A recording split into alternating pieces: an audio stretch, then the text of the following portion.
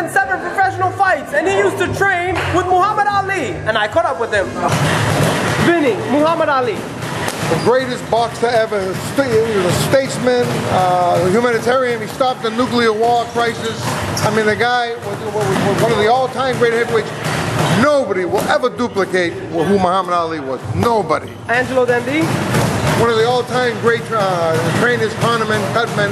I mean, the guy, the guy could do it all. What made him so great? Because you worked with him. He managed Well, you. the greatest, the greatest thing about a great, great, great trainer is when Ali was Ali was in a fight. Ali was in a fight. And he got hit with a left hook, and he was dead by the Henry Cooper in, England. They dragged him to the corner. He couldn't recuperate.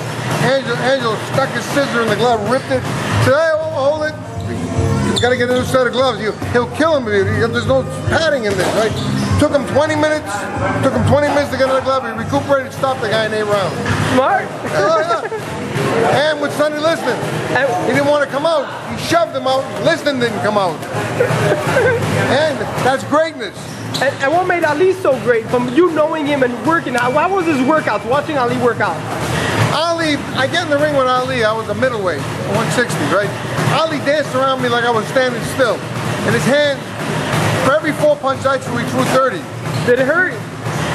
No, he didn't, he didn't try to hurt me. But I'm saying, here's a guy, six foot three, 230 pounds. I was 160 pounds, right? He was way faster. I mean, so quick. I mean, you couldn't even see his hand. I'm there. We used to make jokes. It's tell the truth. And what do you think about Pacquiao?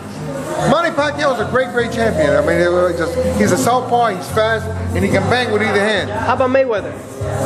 Mayweather was a great boxer puncher, not a great banger, but you know he can box and punch, and he'd, wa- he'd walk you down.